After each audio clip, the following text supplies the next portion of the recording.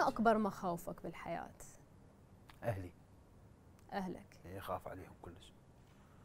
يعني هي أمنية واحدة بأنه بس آه وهاي مو مو اللي اللي تنقال للمجاملة لا هاي الحقيقية بأنه أنا عندي والدي ووالدتي وأخوة اثنين. امم الله يحفظهم. الله يسلمك. فهو يا رب يا رب يا رب دائما ما أقول يومي قبل يوم أي واحد معهم اسم الله عليكم أكيد كليتكم إن شاء الله العمر الطويل والصحه أنا اخاف بس على. هاي هاي المجموعة اللي قدام يعني. البقية آه أي شيء دائما ما أقول أي شيء سلبي هلا بي نقدر إن شاء الله شلون نعالجه. إن شاء الله. الإنسان اللي يسمعك يسمعك من أنت تريد تحكي. أنا أعرف إنه أنت هواي تحب تحكي هواي شغلات. الإنسان إي لقيت طبعا. يسمعك الشيء اللي أنت تريد تقوله. إي يسمعني يسمعني. زين كتبت شيء عليه؟